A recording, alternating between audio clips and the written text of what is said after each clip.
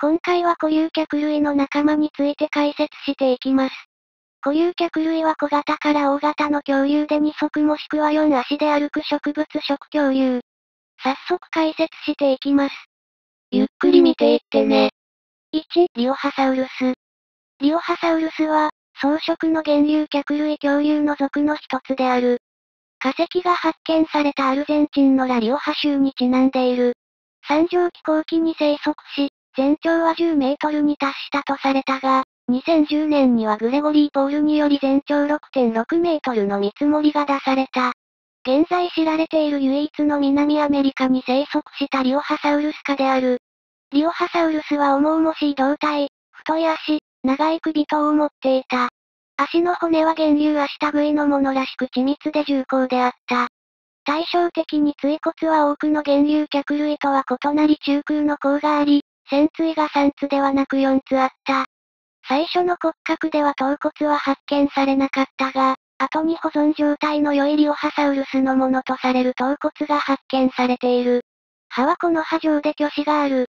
上顎には前面に5本の歯があり、後方には24本以上の歯の列が目の下まで並んでいる。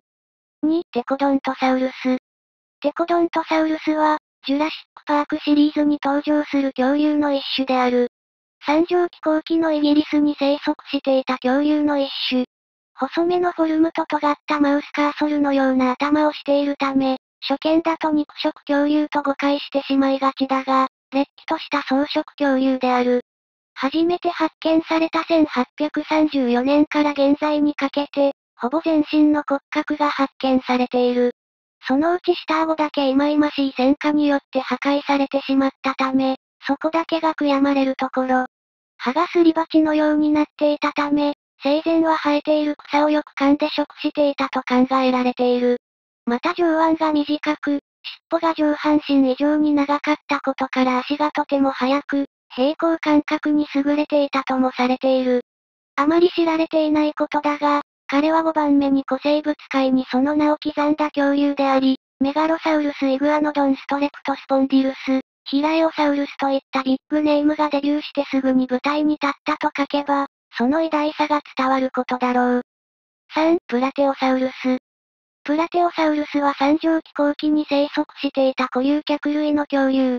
大型種では全長が5から10メートル、体重が 600kg から4トンに達した。最初期の大型植物食恐竜で、ドイツ、フランス、スイス、グリーンランドなど、広い範囲で発見されている。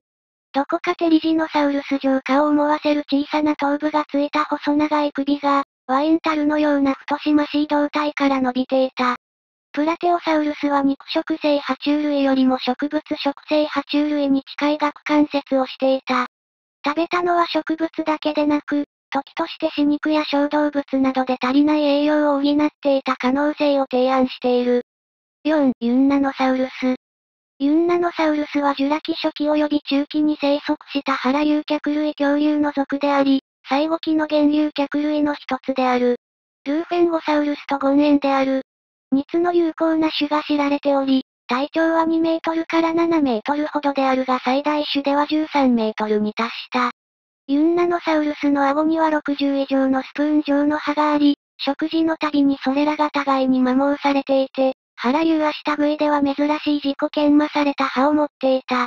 竜足類と共通する特徴であるこの歯は他の原流脚類と比較して優位であったと科学者たちは見ている。見つかった化石には20以上の不完全な骨格で構成され、これにはオーソンタダシによって発掘された2個の頭骨が含まれる。5. ルーフェンゴサウルス。ルーフェンゴサウルスは、中国で数多く発見されている有脚系類です。現在までに20体ほどの化石が発掘されています。ルーフェンゴサウルスの全長は4から6メートル、体重1700キロと推定されています。固有足類の中では大きな部類に入ります。首は長めで4足で歩行したり、2足歩行したりしていました。ジュラ紀前期に生息していました。食性は肉食、植物食、雑食については議論されていますが、お腹付近から石が見つかっていることから、植物食である可能性が最も高いでしょう。2本足で立ち上がり、長い尾でバランスを取り、高いところにある葉を食べましたと考えられています。多数の骨格化石が同じ場所から見つかることもあり、集団で生活していた可能性もあります。6. アンキサウルス。アンキサウルスの名前はトカゲに似たものという意味で有脚類の中でも初期の種の一つです。しかし、あまり広く知られている種類ではなく巨大な体を持つものが多い有脚類の中ではかなり体の小さい部類に属します。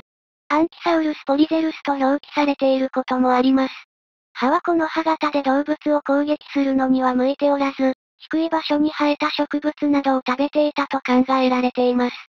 アンキサウルスの足跡は記載の20年前にアメリカ合衆国のコネチカット州の砂岩層で発見されています。